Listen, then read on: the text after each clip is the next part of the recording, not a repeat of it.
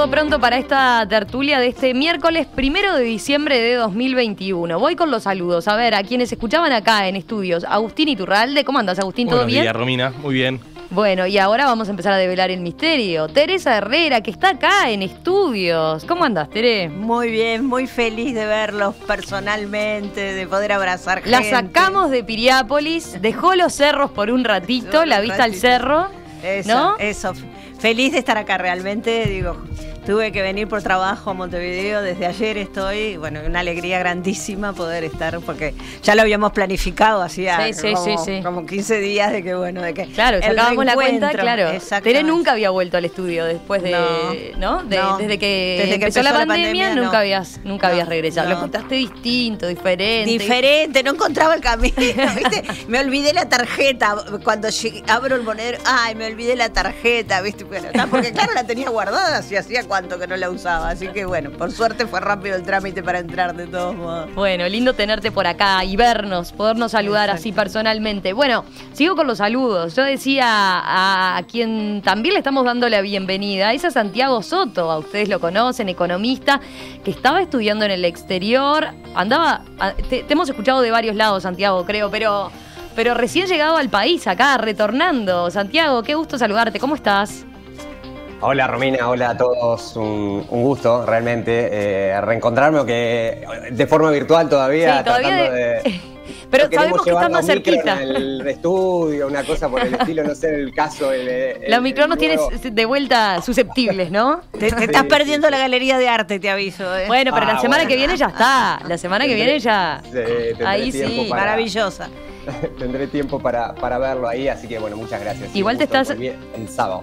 El sábado, ahí. Así que estás así, en pleno, en pleno regreso. Bueno, pero un gusto Sí, tenerte, con Santiago, el por caos del regreso todavía. Sí, claro, Pero me imagino. Lindo, lindo el reencuentro con el, con el país y con los afectos y obviamente también con ustedes y, y con la audiencia. Buenísimo. Bueno, y sigo con los saludos. Me falta saludar a Leonardo Costa Neco. ¿Cómo estás? Buen día, ¿todo Buen bien? día, ¿Cómo andan? ¿Todo bien? Buen día. Hoy no pude ir por ahí por porque estos temas de la virtualidad a veces te hacen estar en tres veces a la vez, en tres lugares a la vez, este, entonces hay que hay que aprovechar. Si lo vemos distraído a Neco, ya sabemos que anda en otra reunión de Nico- Zoom. Nico No, está bravo, en Ahora. el cuarto de mi hijo, por eso, por eso tengo algunas este, cosas de, de- de- de adolescente, pero bueno. Ah, está este, bien. eh, es solo el cuarto.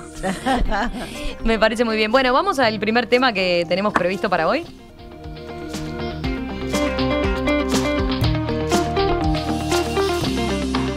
ANCAP cerró el tercer trimestre de 2021 con un resultado positivo de 98 millones. Según el informe presentado ayer por la empresa, el mercado monopólico de combustibles reportó una pérdida de 19 millones como consecuencia de ventas por debajo del precio de paridad de importación en gran parte del periodo.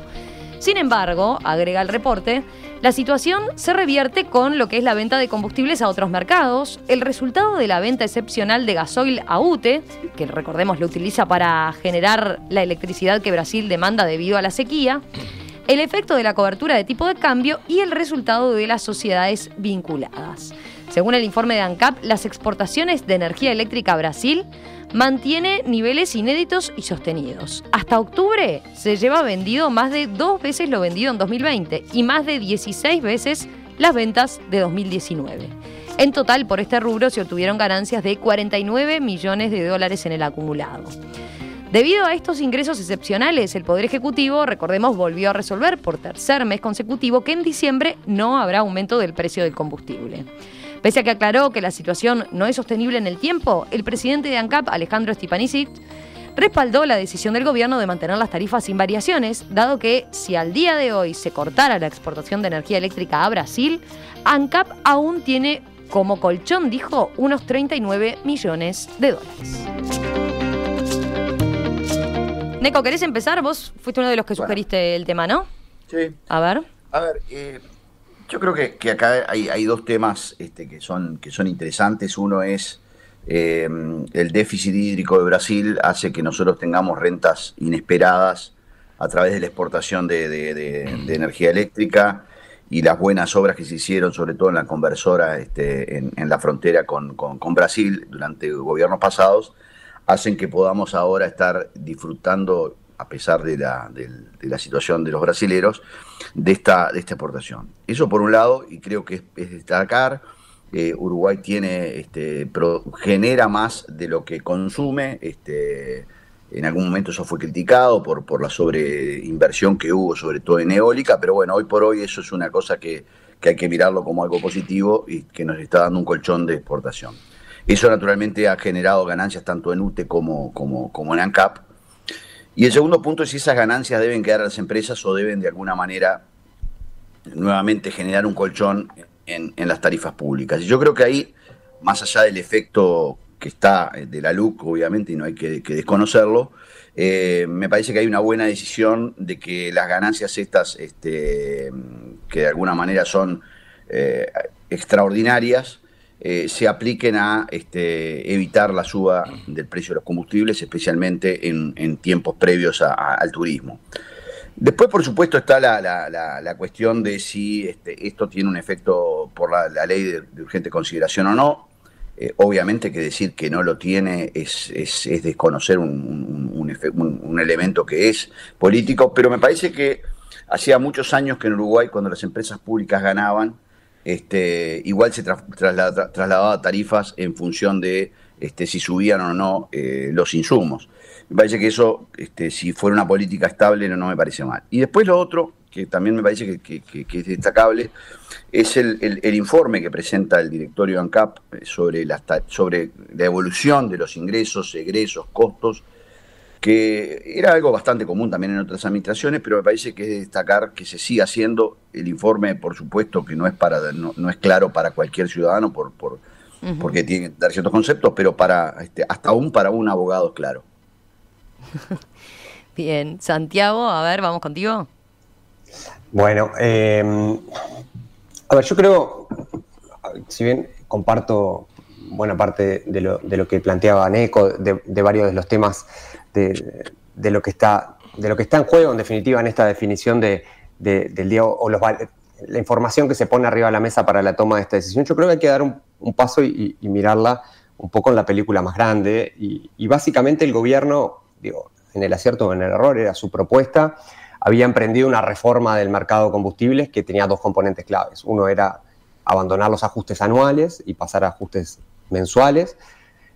Y el otro componente era básicamente adecuarlo al, PPI, digamos, al precio de paridad de importación y que ese sea el referente, digamos, esas eran las dos columnas, digamos, de la reforma del mercado de combustibles que, planteó el gobierno y que lo mandó por ley al Parlamento y que lo aprobó en un trámite muy express que, que ahora claro, junto con eso también mandó que disolvía los consejos en, la educación, o sea, y que los pasaban a ser unipersonal. O sea, realmente, como era una ley ómnibus, que era cualquier cosa, no se discutió nada, nada de eso, y bueno, eso es lo que ahora está a, discusión en el, en el referéndum. Pero los dos, nosotros lo que estamos discutiendo hoy es el abandono completo de la agenda del gobierno, en definitiva. Pasamos a un esquema en el cual tenemos el peor de los dos mundos. Antes teníamos ajustes anuales y cierta discrecionalidad en, el, eh, en los argumentos que se utilizaban para decir cuáles eran los ajustes que se hacían a los combustibles, a un esquema que es cualquier cosa.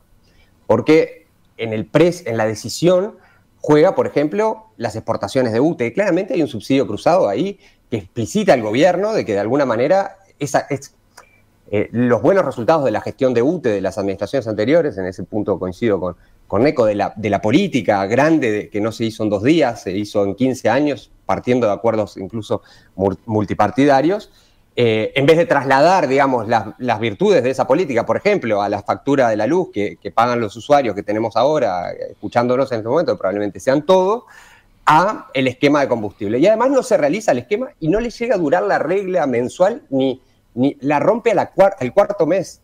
Y todo eso está muy influenciado por el, por el en definitiva, por, por la votación que va a haber en, en el Uruguay en unos, en, unos, en unas semanas, en unos meses, cuando termine de contarse los votos y se ponga la fecha, eh, respecto a derogar los artículos eh, de la ley de urgente consideración. Entonces yo creo que, creo que mm, celebro, digamos, que, no hayan aumentado los combustibles, porque como todo el mundo prefiero, si bien no tengo auto, obviamente prefiero que no aumenten los combustibles, pero realmente se dan un marco en el cual hay un el gobierno está completamente perdido poniendo lo político por encima de lo jurídico en todo lo que fue su agenda de reformas para, para el mercado, Y lo otro que nos queda, la gran incógnita, es qué va a pasar el día, si efectivamente, día, el día siguiente al referéndum, si vuelven los ajustes estos mensuales de aumento, si vuelve el PPI, si no, realmente hay una confusión y una, y una falta de claridad eh, en las reformas y, en, cuál es en definitiva el modelo que tiene el gobierno para la determinación de los precios de las tarifas, que,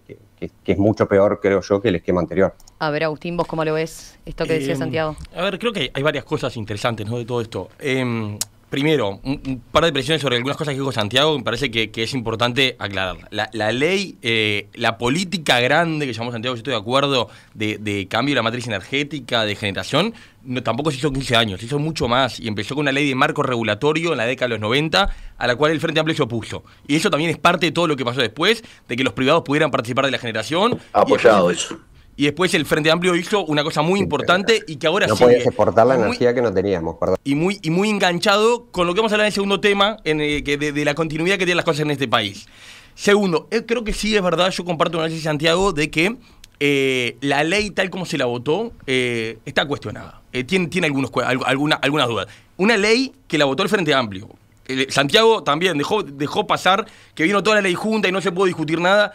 Tanto se puede discutir que el Frente Amplio se paró y así como no votó lo de la educación, no votó muchas cosas de la seguridad, no votó casi nada de los 135 artículos que están en el referéndum, esto sí lo votó el Frente Amplio a conciencia y a impulso del senador Vergara, tengo entendido, eh, toda la bancada del Frente Amplio lo votó. Eh, tenemos un problema importante con cómo gestionamos los precios de los combustibles en este país y la LUC trató de abordarlo. Eh, yo creo, para mí hay un aprendizaje que, ¿Por qué está subiendo? Subió la nafta como subió y ahora pasa lo que pasa. No es por la LUC, la nafta subió en todos lados. Decir, pretender instalar que la nafta subió en este país por la LUC, cuando subió 30% en Brasil, cualquier cantidad en Argentina. En todo el mundo la energía se disparó tremendamente. Sí, recordemos eso, ¿no? El contexto es el petróleo ha eh, subido mucho. El petróleo, el, gas, todas las energías eh, en, precios récords. Y hay esto es un problema en el mundo, de cómo se gestionan la suba de los combustibles, que es un tema de gran sensibilidad para la población en el mundo. En Uruguay se encontró con un contexto particular, que era el contexto eh, de una ley que va a referéndum, y, que yo creo que lo que sí me parece el aprendizaje, lo creo que lo que sí comparto Santiago, me parece que los ajustes tan periódicos, eh, que yo al principio me parecían bien, la verdad, me parecía que era más transparente, me parece que en un contexto de volatilidad como la que hay ahora, capaz que no es la mejor solución. Que es mejor darle más estabilidad al precio y que haya, y que a, la larga, me parece así clave clave, y creo que en esto hay una gran ventaja de la, de la metodología que se impone ahora contra la anterior, que sea transparente y que cuando estás arriba del agua, cuando, estás, cuando el gobierno está cobrando más de la nafta de lo que cuesta, después vuelva. Que es lo que no pasó en administraciones anteriores, cuando el petróleo bajaba, la nafta no bajaba y se hacía caja con ANCAP. Creo que el objetivo principal que es creo que el cometido principal de la, de la, ley de la LUC es que no se haga caja con los combustibles. Ahora no se está haciendo caja con los combustibles. Sí comparto que la lógica de los ajustes periódicos es compleja y, bueno, en este contexto de que pasa lo que pasa con Brasil y el otro tema que no se dijo pero es importante, empezó a bajar el petróleo en el mundo. En los últimos dos meses ha bajado de forma importante, no como estaba a principio de año, pero ha bajado a niveles de agosto. Creo que hay una luz en el fondo para decir, bueno, podemos... Eh, aguantar y probablemente hay una posibilidad cierta que no se, no se tengan que subir tampoco en el futuro, cuando todo esto pase, si Brasil, que va a comprar por lo menos hasta mitad del año que viene va a seguir comprando aparentemente, eh, no, no, va a haber, no, va a haber saltos de nivel muy importantes, entonces creo que es una, una decisión razonable la que se aplicó. Tere.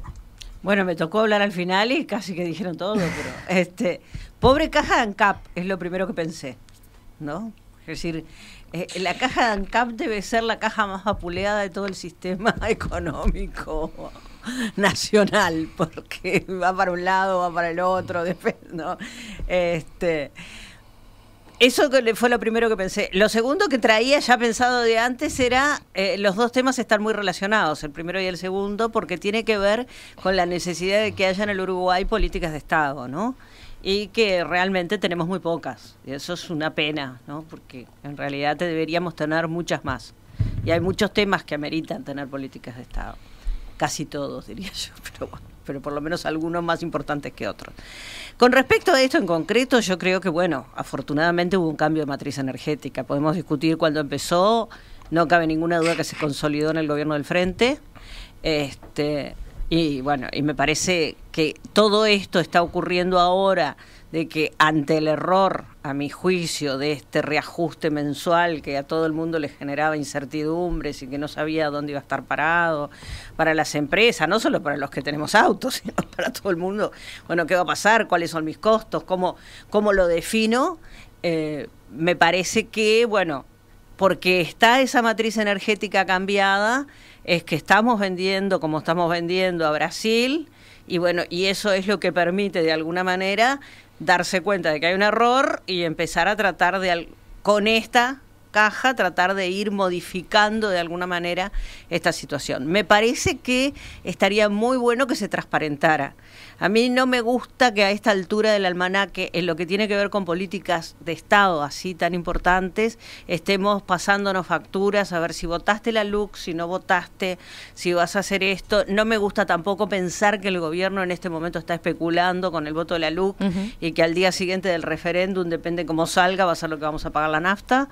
Este, me parece que... Eh, hay cosas demasiado importantes como para que se muevan solo por los vaivenes de la política partidaria. Hay un, comentario que a, partir de lo que decían del Frente Amplio aprobando este artículo, ¿no? Eh, hace algunas semanas o algunos días en el debate que, tuvimos acá en perspectiva sobre este capítulo en particular que, tenía que ver con, la LUC, que fue el primer capítulo temático que hicimos de, de debate con la LUC entre Mario Vergara y Sergio Botana. Vergara decía eh, bueno, un poco lo que, lo que han argumentado desde siempre de que en realidad terminaron apoyando el artículo porque lo, lo habían logrado mejorar, pero sobre todo da un dato que me pareció novedoso en cuanto a que quizás no era uno de los artículos que el Frente Amplio eh, hubiera puesto a consideración para, la, para la derogación, ¿no? ¿Salió la prensa o alguna discusión de prensa eh, originalmente que el Frente Amplio no quería que eso entrara porque no quería que entrara en cosas que votó? Claro. Eh, sino que eran, bueno, las organizaciones sociales que entendía que tenía que, ponerse... Sí, sí, ahí hubo una tensión, evidentemente, en, cuando se programó cómo iba a ser el referéndum, ¿no? y, un brete para el Frente, ¿no? A ver, Santiago. Perdón, Teresa, que te interrumpí. No, no, no, está bien, digo que es un brete para el frente. Obviamente ponía a consideración artículos que votó, digo, es, clarísimo, pero bueno, es la parte de la negociación, ¿no? Sí, parte hay de la uno ahí que es el 237, que sé que no lo votó, que no lo votó pero, pero, estoy de acuerdo, sí que, que fue un tema de, discusión como planteó Vergara. Sí, sí, sí. Mira, yo, yo, yo recuerdo, ANCAP para el Frente Amplio es una piedra en el zapato. Yo recuerdo en el 2003 cumpleaños de, de, de Sereni, eh, se había votado en ANCAP, en el Parlamento la, reforma de ANCAP, que después fue plebiscitada. Y me acuerdo, eh, nos había invitado, yo era proyector de la presidencia, y estaba el instituto que dirigía eh, Sereni, que fue un muy buen instituto que trató de generar políticas públicas. Y él fue el que, uno de los impulsores de esa modificación de ANCAP.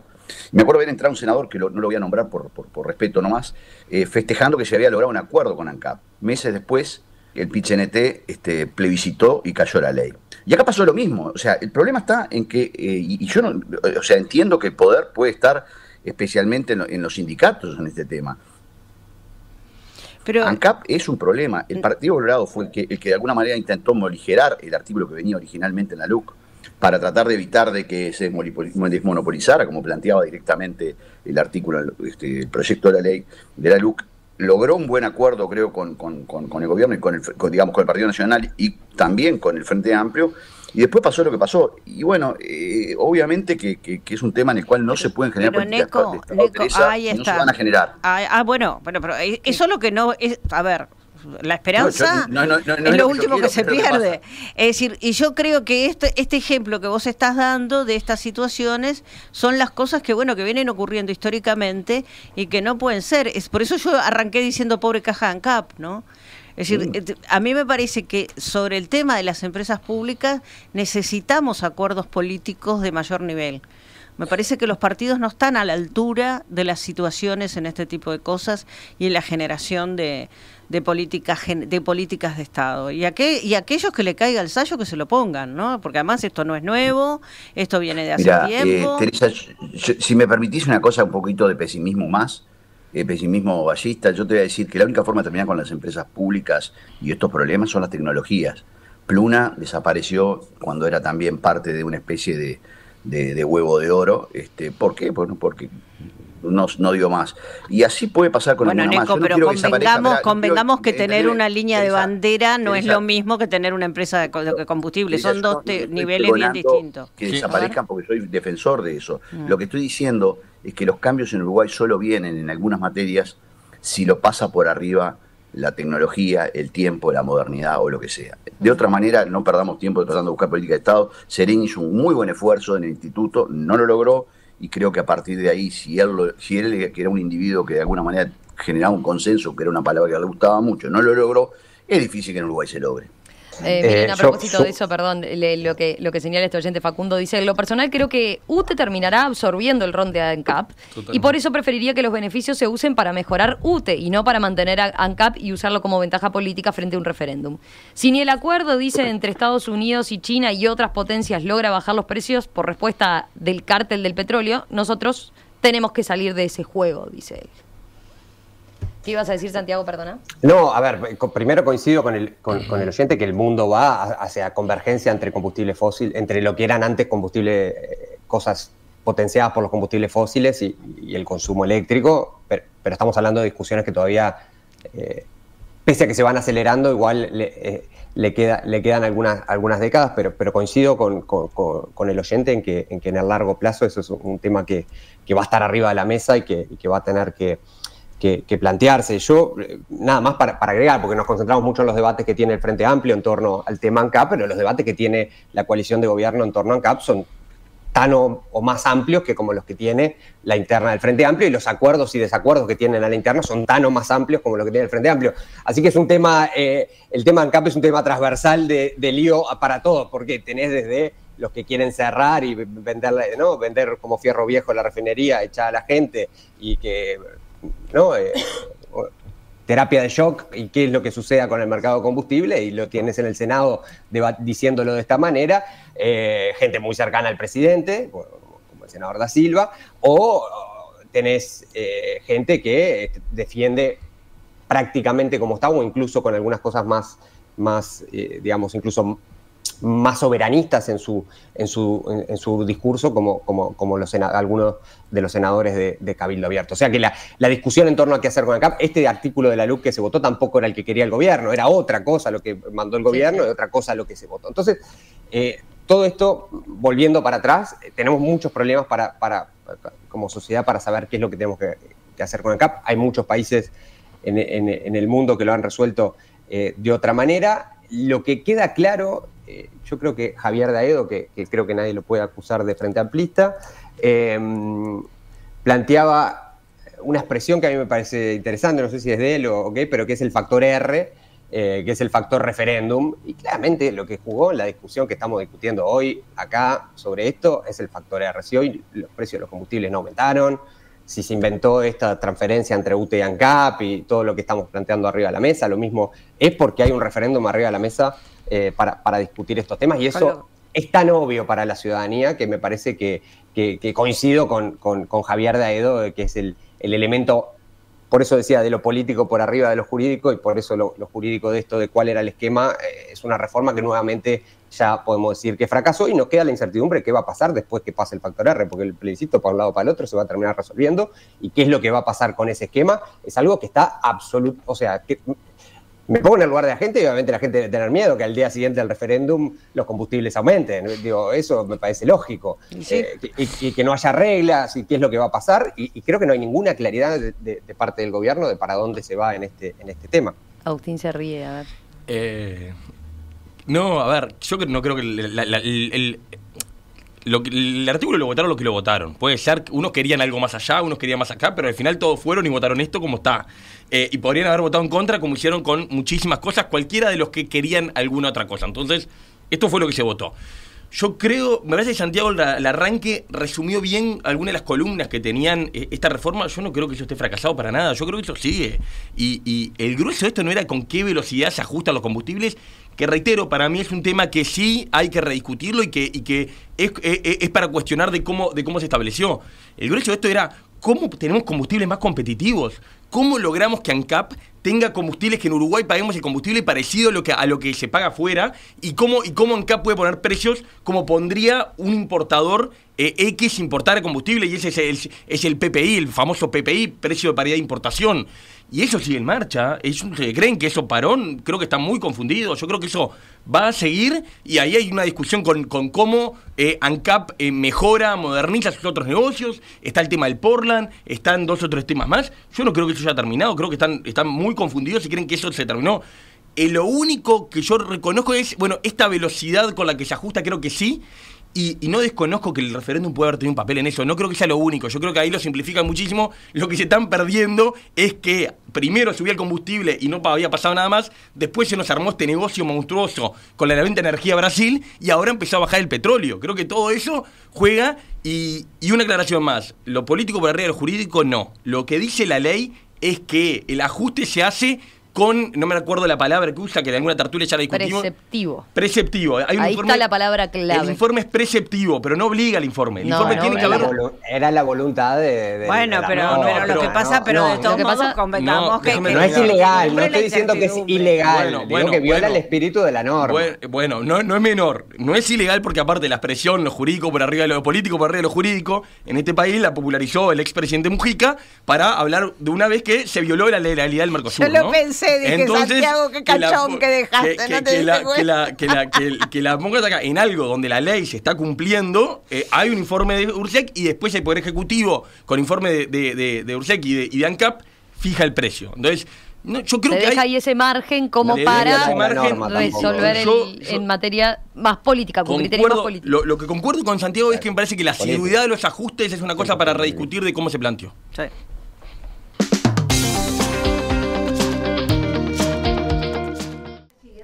¿Qué pasa con el precio de los combustibles post referéndum? Esa es la duda que quedó planteada. Ganan el referéndum y al día siguiente duplican la nafta. ¿Qué hacemos?